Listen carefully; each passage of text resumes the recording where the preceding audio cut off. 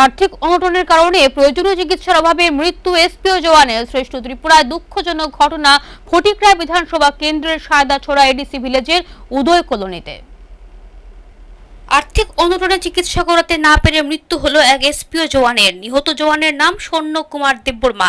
তিনি ডেমডুম এসপিও ক্যাম্পে কর্মরত ছিলেন। ঘটনাটি সংঘটিত হয়েছে ফটিকরায় বিধানসভাধীন সায়দাছড়া এডিসি ভিলেজের উদয় কলোনি পাড়ায় ঘটনার বিবরণে জানা গেছে, গত তেরোই জুলাই ক্যাম্প থেকে ডিউটি সেরে বাইকে চেপে বাড়ি ফেরার সময় রাস্তায় দুটো ছাগলকে বাঁচাতে গিয়ে নিয়ন্ত্রণ হারিয়ে দুর্ঘটনাগ্রস্ত হয়ে গুরুতর আহত হন এসপিও জওয়ান স্বর্ণকুমার দেববর্মা।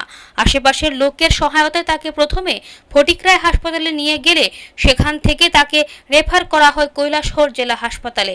কৈলাসহরে কিছুদিন চিকিৎসার পর চিকিৎসকরা তাকে উন্নত চিকিৎসার জন্য বহিরাজ্যে নিয়ে চিকিৎসার করানোর পরামর্শ দেন। কিন্তু পরিবারের আর্থিক দুরবস্থার বাইরে নিয়ে যাওয়া হয়ে ওঠেনি জোয়ানকে। পরে কিছুটা সুস্থ হলে চিকিৎসকরা তাকে বাড়িতে পাঠিয়ে দেন। কিছুদিন পর বাড়িতে তার শারীরিক অবস্থার অবনতি হলে ফের তাকে কৈলাসর হাসপাতালে নিয়ে যান তার পরিবারের লোকেরা।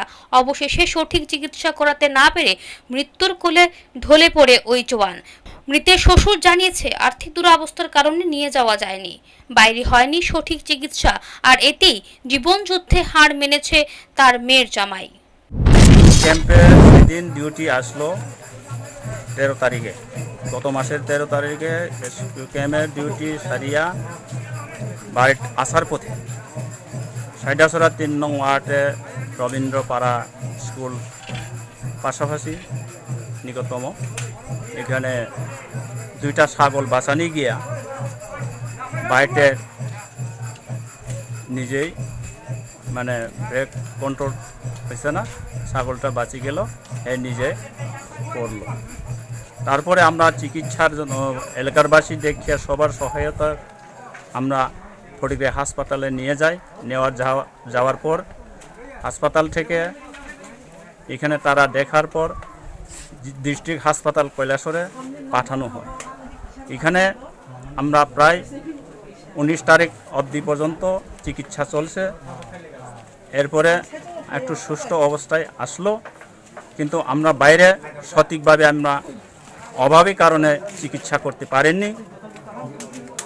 তারপরে এই মাসের তিন তারিখ হঠাৎ করে শরীর আর যন্ত্রণা এবং বিভিন্ন জাল খাল শরীরটা একদম আগুনের মতো ছড়ার আবার সৃষ্টি উৎপন্ন হওয়ার পরে আমরা কৈলাসরে আবার দৃষ্টি হাসপাতালে নিয়ে যাই।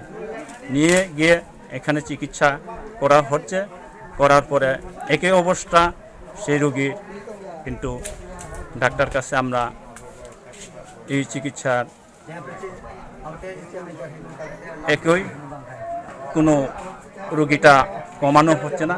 এ বলে আমরা বাড়িতে আসার পরে আর আধা ঘণ্টা, ঘন্টাখানেক মধ্যে বাড়িতে এই আসে মারা যায়। আমরা চিকিৎসার অভাব এবং আর্থিক নীতির অভাবের কারণে, ওই চিকিৎসার কারণে আমরা মাত্র ছয় হাজার টাকা বেতনে চাকুরি করতেন ওই এসপিও জওয়ান। এতে পরিবার, পরিজন নিয়ে কোনো রকমে বেঁচে পড়তে ছিলেন তিনি। তার এক ছেলে, এক মেয়ে ও স্ত্রী রয়েছে পরিবারে। এখানে উল্লেখ করা প্রয়োজন, পূর্বতন সরকার বৈরী তৎপরতা দমনে এই এসপিও জওয়ানদের নিয়োগ করেছিল। বর্তমান সরকার ক্ষমতায় আসার পূর্বে তাদের বেতন দ্বিগুণ করার প্রতিশ্রুতি দিয়েছিল, কিন্তু জোট সরকার ক্ষমতায় আসার আড়াই বছর অতিক্রান্ত হবার পরও সরকারের প্রতিশ্রুতি রয়ে গেল প্রতিশ্রুতিতেই। আর সরকার তার প্রতিশ্রুতি পালন না করাতেই হয়তো অর্থের অভাবে আজ মৃত্যুবরণ করতে হলো রাজ্যের এসপিও জওয়ানকে।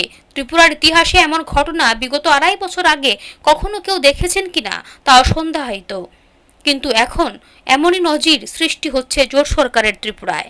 ফিও রিপোর্ট হাল্লাবোল